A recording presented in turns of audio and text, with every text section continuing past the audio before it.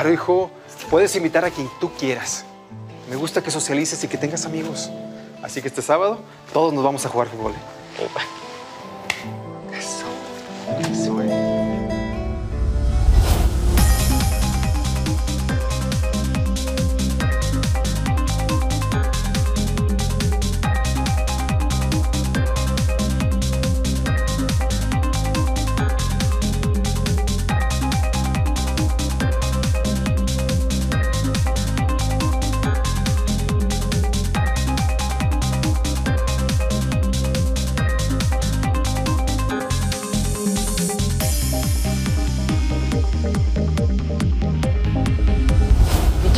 Papá.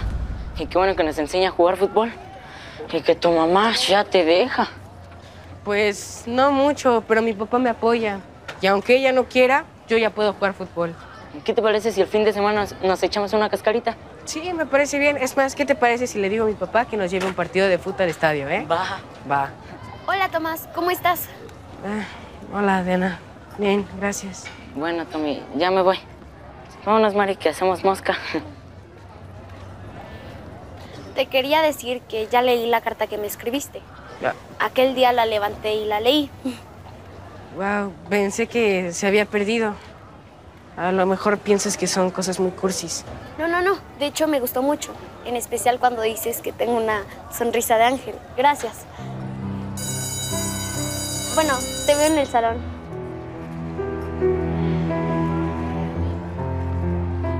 ¡Papá!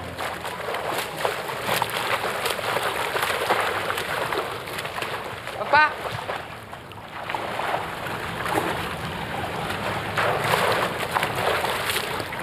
Desde que me acuerdo, la alberca no se había usado.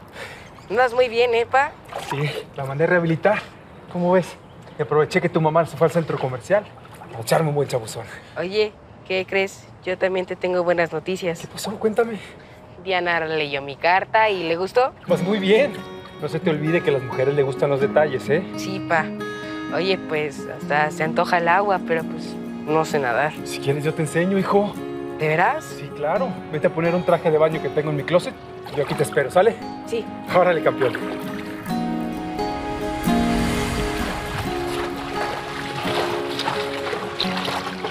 ¿Qué tal me veo, pa? Órale, campeón, te ves muy bien. Mira, lo primero que vas a aprender es a respirar para que puedas flotar, ¿ok? Ok. Vente, agárrate de la orilla, ven, dame la mano. Vente. Baja, baja. Eso. es Ahí, ahí, agárrate de la orilla. Papá, ayúdame. Entonces, ok, agárrate de aquí. Ok. Vamos, vas a- ¡No! ¡No! ¡No! ¡Sácalo de la alberca! ¡No! ¡Tomás! ¡Que no sabe nadar! ¿Cómo se te ocurre meterlo a la alberca? No me importa cómo quieres que me tranquilice. Te vuelvas a meter a la alberca, ¿me entendiste? Eres un irresponsable. ¿Cómo puede ser que te hayas metido a la alberca si no sabes nadar? ¡Te puedes ahogar! Pero estaba con mi papá y él sí sabe nadar. Voy a mandar a quitar esa maldita alberca y no la quiero aquí. Y cuidadito con que te vuelvas a meter ahí, ¿me entendiste? ¡No, mamá! No te voy a hacer caso. Me voy a meter a esa alberca cuando yo quiera. Y me voy a morir como mi hermanita para que me dejes en paz. Es tu miedo, no el mío. Hijo, te pasa, Kenia? No nos hagas esto. Tomás quiere aprender muchas cosas, es joven. No le infundas tus miedos. entiéndeme. Tengo que proteger a mi hijo. Yo no protegí a Berenice y por mi culpa se murió. Ya deja de cargar con esa culpa. Fue un accidente y los accidentes pasan, ¿entiende? No puedo. Y yo voy a cuidar de mi hijo, que sea lo último que haga. ¿Qué quieres? ¿Destruirle la vida a nuestro hijo? Ya hablamos, Kenia. Tienes que ir a ver un psicólogo. Y yo ya te contesté que no voy a ir a ningún psicólogo porque no estoy loca. Como no entiendes, si no quieres ir, entonces tú y yo nos vamos a divorciar.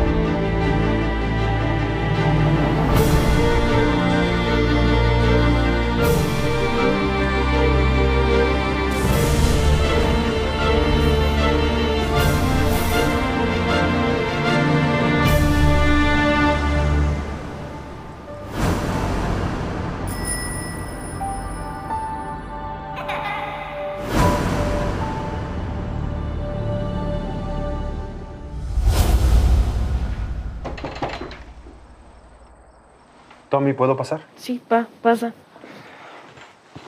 Hijo, yo sé que es muy difícil todos los cambios por los que estamos pasando. Tu mamá no lo hace con mala intención. Ella solo quiere cuidarte.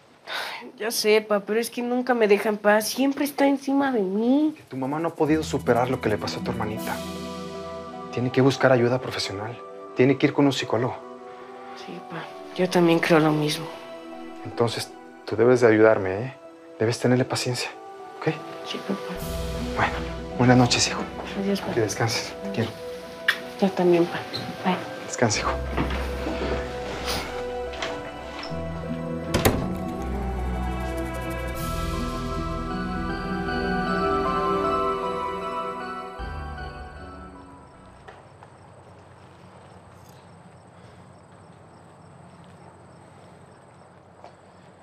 Virgen de Guadalupe, ayúdanos por favor a que mi familia no se desmorone. Que Kenny entienda que no es su culpa que nuestra hija Berenice haya muerto. Que no cargue más con ese remordimiento que le ha hecho sobreprotectora con Tomás. Que mi hijo sea un joven independiente. Que como padre de familia logre guiarlo para que pueda enfrentar sus miedos, enfrentar la vida y que aprenda a defenderse.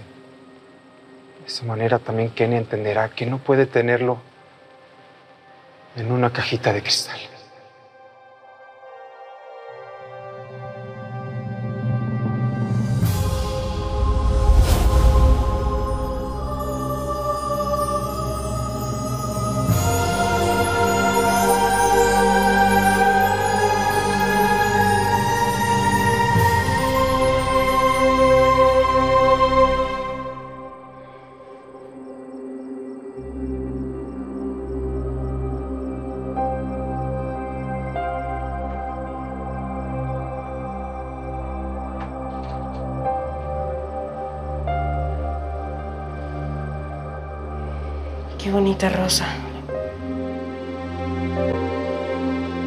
De seguro la puso aquí mi mamá. La voy a poner en agua. A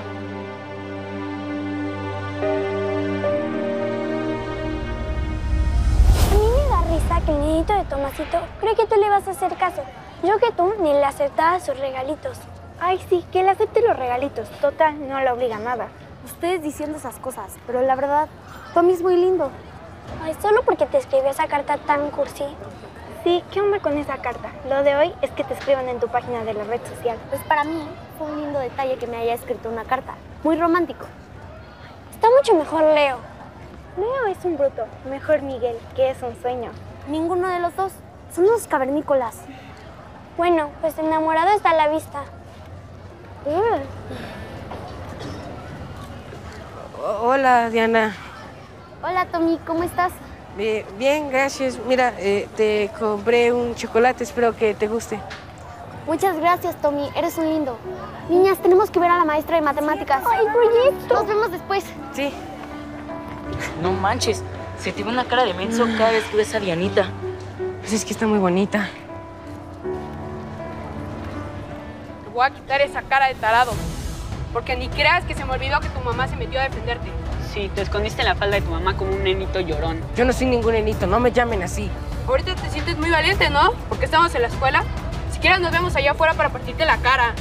No, afuera no, porque si no va a llegar su mami a defenderlo. Yo no soy un nenito como tú. Yo no le dije a mis papás que llegó tu mamá a defenderte y a pegarnos. Pero ni creas que se me olvidó. Y bien, ¿por qué decidió venir a tomar terapia? Bueno, mm, yo solo vengo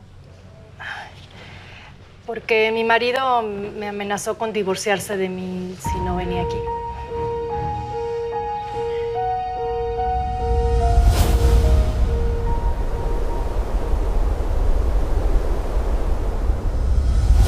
Ya llegué, familia.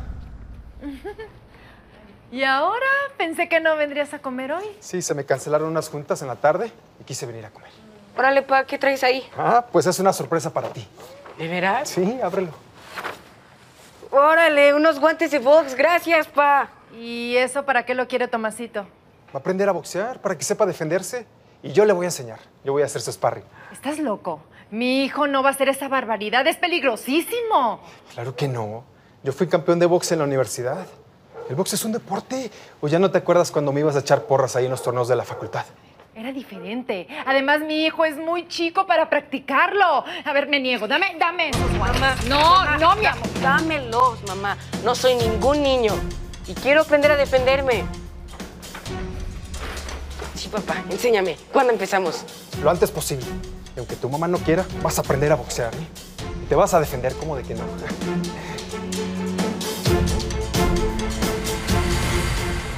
Señor Joel, ¿Qué tal, profesor? ¿Cómo está? muy bien, muchas gracias. ¿En qué le puedo ayudar? Vengo a pedirle apoyo para ver si hay una posibilidad de que se organice un torneo de box aquí en el gimnasio. Torneo de box. Suena, suena bien, suena interesante. Sí, necesito que mi hijo se defienda. Hay unos compañeros que lo molestan. Lo están llamando nenito. Especialmente un chavo que se llama Leonardo Corrales. Ah, sí, sí, Leonardo. Lo ubico perfecto, es un alumno un tanto problemático. Necesito que mi hijo se enfrente a quienes lo molestan y les gane a la buena. De esa manera no tiene que soportar más el bullying. Créame que lo entiendo y lo voy a apoyar en esto. Desde luego, primero tendríamos que hablar con el padre de Leonardo para que esté al tanto de la situación y ver si está de acuerdo. Sí, claro. Y quizás el box sea el deporte donde los chavos saquen sus diferencias y terminen con esto del bullying. Pudiera ser. Eh, Usted lo acaba de decir, el box es un deporte. Es mejor que lo hagan en el cuadrilátero a que lo hagan en la calle. Ahí sí podrían salir gravemente lastimados. Pues no tenía conocimiento de que mi hijo molestara a su hijo. Pero bueno, si tantas ganas tienen de enfrentarse, yo estoy de acuerdo en que sea en una pelea de box. Voy a programar un torneo. Entonces, ¿sí está usted de acuerdo en que su hijo Leonardo se enfrente con el hijo del señor Joel, Tomás? Sí, que se den. Digo, van a traer guantes, protección. Y creo que también será una buena lección para su hijo. Bueno, para el mío también, claro. Miren, yo creo que lo mejor es en un ring, con reglas, todo bien, porque luego se van a la calle y no sabemos nada, se arriesgan. Vamos a ponerle fecha al encuentro. Eso sí, que sea tiempo suficiente para que los muchachos se preparen adecuadamente. Estoy de acuerdo. Derecha. Venga, ahora sí, Tommy, con todo. Venga, eh. Izquierda, derecha, gancho. Ok, ahora va a ser izquierda, derecha, esquivas. Venga. Izquierda, derecha, esquivas. Eso, venga. No sé por qué ese dichoso torneo tiene que ser la solución para que esos niños dejen de molestar a mi Tomasito. Yo confío en que mi nieto sabrá defenderse. Ya es hora de que Tomás no se deje de quienes lo molestan. Debimos de haber ido a hablar con el director para que logre parar todo esto. Los jóvenes de ahora son distintos. Ya no hay autoridad que logre pararlos cuando su diversión es molestar a sus compañeros.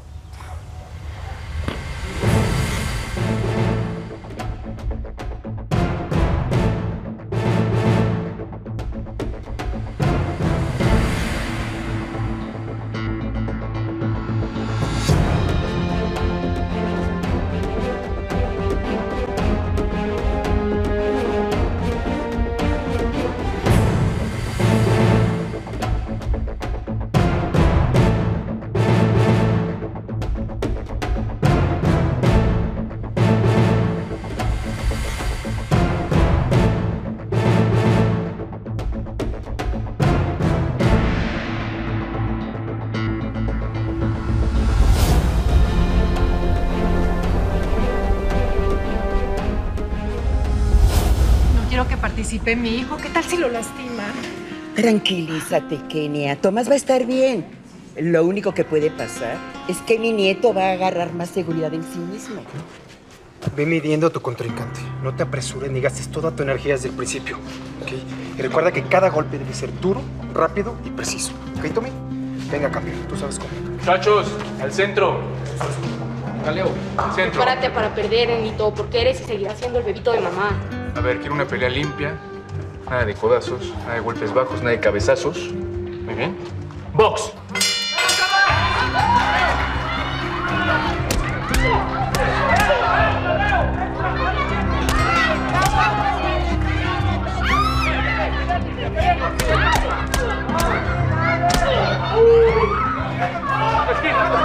¿Estás bien? ¿Estás bien? ¿Puedes continuar? Tommy! Te voy a dar el conteo, vamos. Arriba, arriba, vamos. Voy a dar el conteo, ¿eh? Voy a dar el conteo. Sí, uno.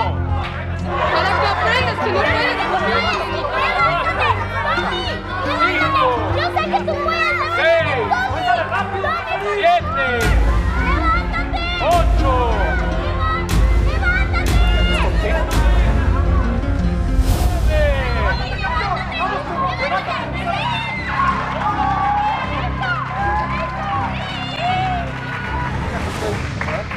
Seguro.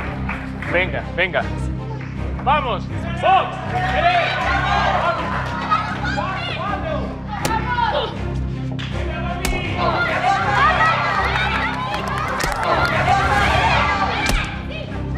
Oye, pues Tomás no salió tan malo para el box, ¿eh? Sí, es buenísimo. ¡Vamos,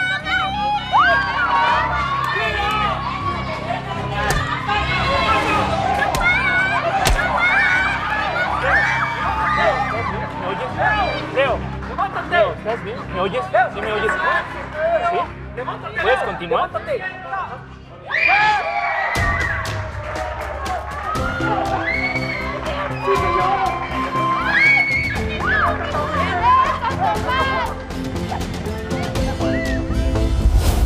Chido, bro. Te la rifaste en el box. Ahora sí eres puño de oro. Qué canelo ni qué nada. Primero cuate Tomás. Hijo de mi corazón, estaba llena de miedo de que te fuera a pasar algo.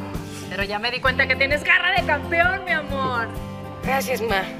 Pero ahora tú me tienes que prometer a mí que vas a seguir yendo a tus terapias. Sí, mi amor. Te prometo que voy a seguir yendo. Incluso tomaremos terapia de familia, ¿eh? Tomás. Muchas felicidades por tu triunfo. Dejaste tirado en la lona al payaso de Leonardo. Gracias. Todo se lo debo a mis padres y mi entrenador personal, mi papá. No, nada de eso, campeón. Todo esto es por ti, por tu garra y por tu esfuerzo. Te esperamos afuera. ¿eh? Te traje un regalito. Mm, Ese es tu regalito. Felicidades por tu triunfo. ¡Wow! ¡Qué, qué padre! Además me encantó el playlist que me enviaste y quería saber si algún día podíamos escucharlo juntos. ¿Me parece bien?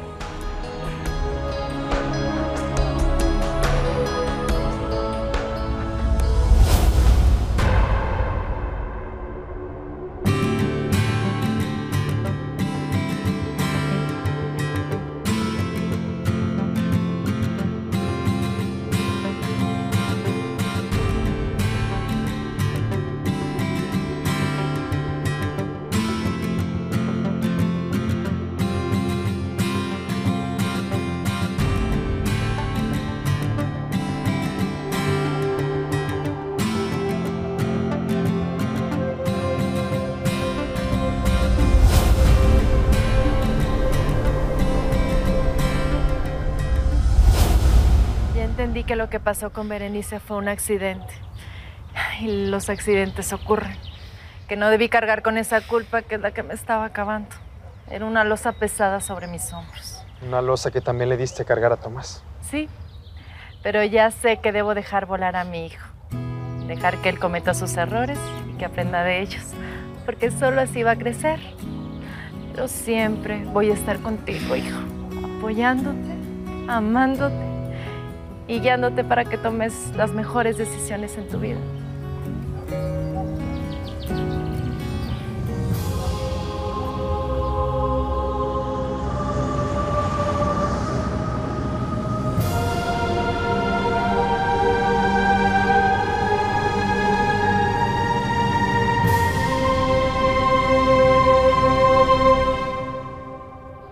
Gracias, ma. También perdóname por haberte faltado el respeto y haberte dicho que eras una chincha. No te preocupes, hijo. Ahora veo con claridad que sí era una chinche. Aprendimos a respetar a Tomás. A que enfrentara sus obstáculos y se defendiera. Pero lo más importante, que saliera de una cajita de cristal.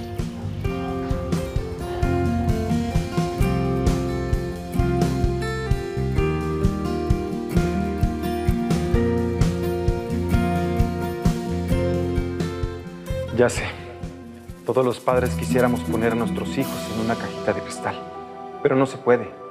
La sobreprotección a los hijos no es buena porque les crea inseguridades y miedos. No se trata de que recorramos por ellos el camino que les toca, sino de guiarlos. Yo sé que llegamos cansados, hartos y agobiados del trabajo, de las órdenes del jefe, y que lo único que queremos es tirarnos a ver la televisión y que no nos molesten. Pero ser padre o madre no solamente es ser proveedor. Hay que intervenir en la educación de nuestros hijos, aconsejarlos y darles nuestro apoyo. Porque es verdad que amamos a nuestros hijos, pero no podemos ponerlos en una cajita de cristal.